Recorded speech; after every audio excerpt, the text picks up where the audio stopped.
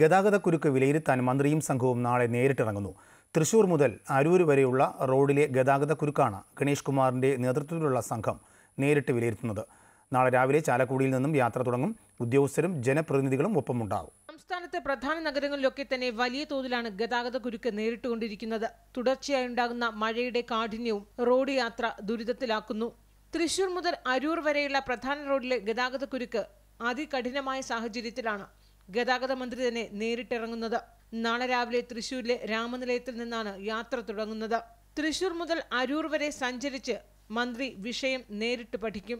Traffic signal കേന്ദ്രീകരിച്ച് പഠനം നടത്താനാണ് തീരുമാനം. ഗതാഗത കമ്മീഷണർ മോട്ടോർ വാഹന വകുപ്പിലെ ഉദ്യോഗസ്ഥർ നാഷണൽ ഹൈവേ അതോറിറ്റി അധികൃതർ എം എൽ എമാർ ഉൾപ്പെടെയുള്ള ജനപ്രതിനിധികളും ഒപ്പമുണ്ടാകും. എറണാകുളത്തെത്തുമ്പോൾ മന്ത്രി പി രാജീവും സഞ്ചരിക്കും.